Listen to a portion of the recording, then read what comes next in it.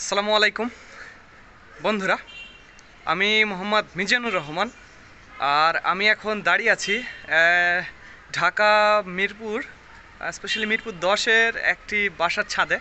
তো আপনাদের তেমন কিছু দেখাবো মানে দেখুন আমার পেছনে একটি আমের গাছ এবং সেই আমের গাছে কিন্তু মুকুলও ধরে আছে। আমি একটু অবাক হয়ে গেছি, স্পেশালি ঢাকা শহরের ছাদে কিন্তু এটা সবাই শৌখিন।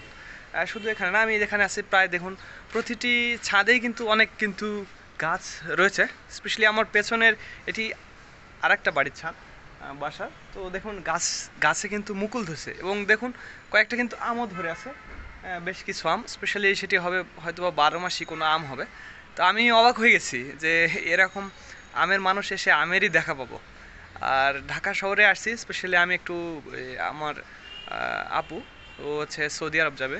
ও, ওকে একটু বিমানে একটু দিয়ে তারপরে আমি পরের দিন আবার বাসায় চলে যাব। তো এই কারণে কিন্তু আমি ঢাকা শহরে আসছি, তেমন আসলে কিছুই না। আর আমি একটু আপনাদের কাছে থেকে দেখাবো।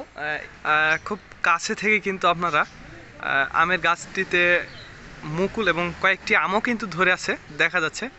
দেখুন, একটু এই পাশে একটু দেখাই, তাহলে আপনারা বুঝতে পারবেন।